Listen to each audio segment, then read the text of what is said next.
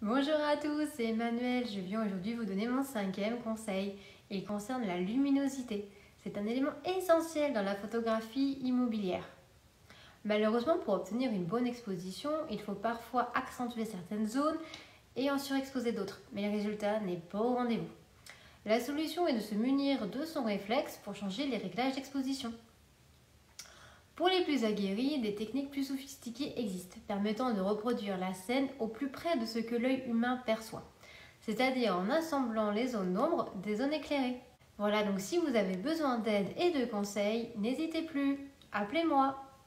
Voilà, j'espère que mon conseil vous a plu. N'hésitez pas à partager, liker laisser des commentaires. A bientôt, bye bye